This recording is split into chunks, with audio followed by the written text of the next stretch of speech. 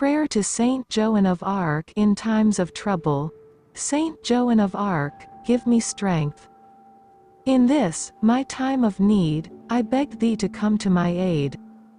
I humbly ask thee to help me bear my trials with honor. As I remember you in your earthly agonies, blessed Joan, duty bound to God, give me courage.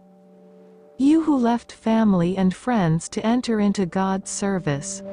Devout and valiant to uphold righteousness to the end. While being insulted and harmed by your enemies. Holy Joan, daughter of God, give me fortitude. Help me to prevail in life and death over evil, while bearing my injuries with the dignity you showed. When wounded in the breast, head, thigh, and heel. Pious Joan, help me to be fearless, abandoned